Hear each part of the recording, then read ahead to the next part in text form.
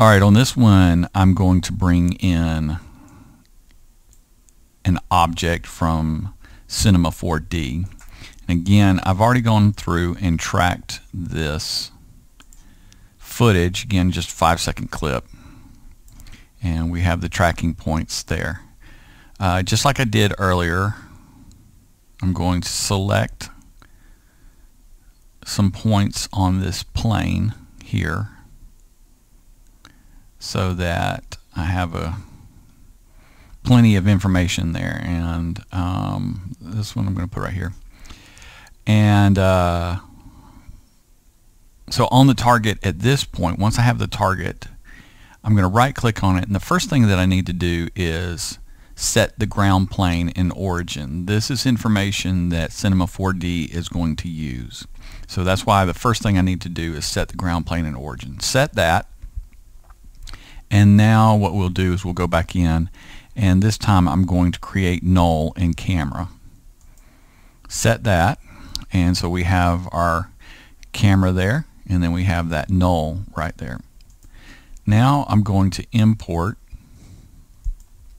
the Cinema 4D file in that I, have uh, created or that I have ready and It is a Gatling gun. I'm going to put a Gatling gun on the side of this van. Just something to... So once that Cinema 4D file is in After Effects, going to drag it down, drop it in here on top, and there's the Gatling gun. Alright, that is definitely not oriented the way that we want it to be oriented. Um, but you can see the plane there and the gun.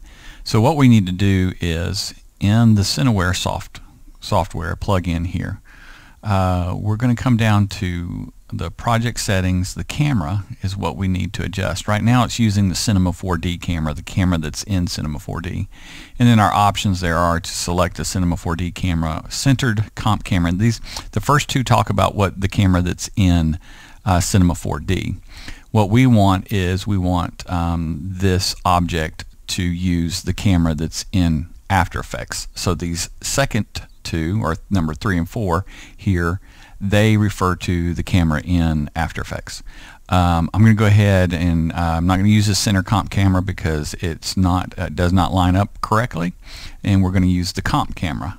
Click on that and it adjusts and you can see now that um, the anchor point for this object is matching up. You can see that little red dot right there uh, matching up to our track null and that's where we want it to be. Now we can do a little bit of work to position this a little bit better um, but the gun is in there.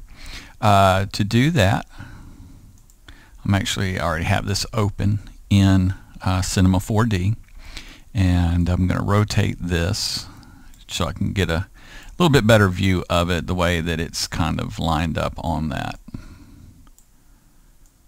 on the car there. And just so I have an idea so now I need to move it down.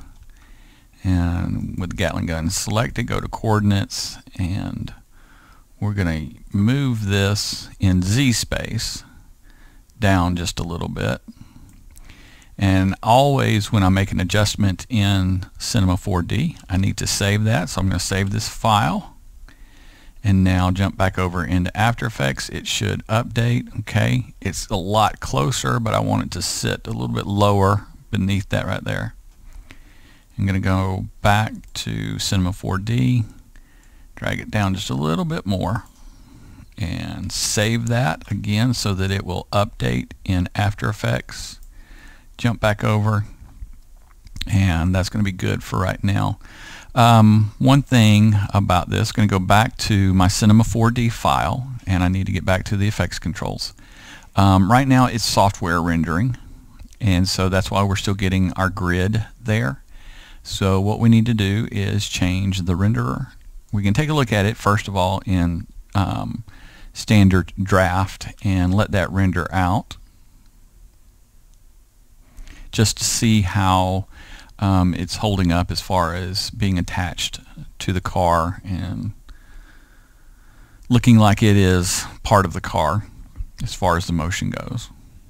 So I went ahead and let that render out and you can see um, I did drop it down to half res right here so the gun looks a little more uh, pixelated um, but you can see what we're trying to get is the the motion the movement to see if this looks like it's slipping any um, if it's hanging on in there. And the nice thing about this being a 3D object when working with Cinema 4D you're getting a little bit of parallax in there with the um, camera move as it kind of rotates a little bit around that van.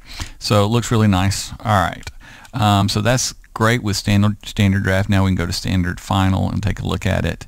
And this is where you'd really want to start evaluating um, uh, any type of color correction uh, and color matching. Um, I'm not going to go over that right now, but you can see that that gun is in there and that is the way we match up or bring a Cinema 4D file into After Effects and tell it to use the camera that is in After Effects. Again, that is by going to comp camera right there and you're good to go.